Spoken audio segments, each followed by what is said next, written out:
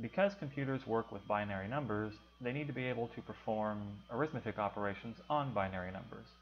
For example, we may want to add these two binary numbers. Now, the way you do this is very similar to how you add decimal numbers, except you carry over a digit to the next column if you reach or exceed the number 2 instead of the number 10. For example, when I add 1 and 1, the result is 2. Because we're adding binary numbers, a 0 goes in this column, and a 1 carries over to the next column. Now I am adding 1, 0, and 0, and the result is 1. Adding 1 and 0 in this column gives me a 1. Adding 1 and 1 here gives me a 2, which requires me to put a 0 here and carry a 1. Adding 1, 0, and 1 gives me 2 again, and I carry a 1. 1 plus 0 plus 0 is 1. 0 plus 0 is 0. And 1 plus 1 is 2, so I put a 0 here and a 1 here. Notice that in adding these two 8-bit numbers, I have produced a result consisting of 9 bits.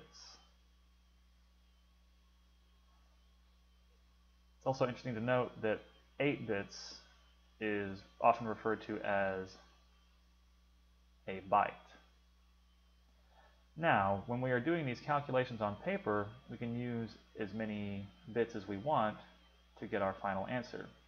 But a computer reserves a specific number of bits for each address in memory where it stores binary numbers. This number has increased over time, and these days it's very common to encounter 64-bit systems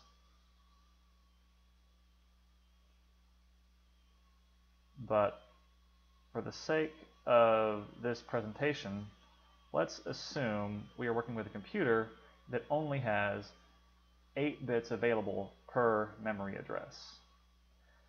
If that's the case, then this 9-bit result cannot be stored in memory, at least not in a single memory address. Only these 8 bits would fit. If you were using an 8-bit computer and adding these two bytes, this result here would be referred to as overflow. This is what happens when an addition or other operation results in a number becoming too large to be stored in a single memory address. Now later in the course, when we become more familiar with assembly programming.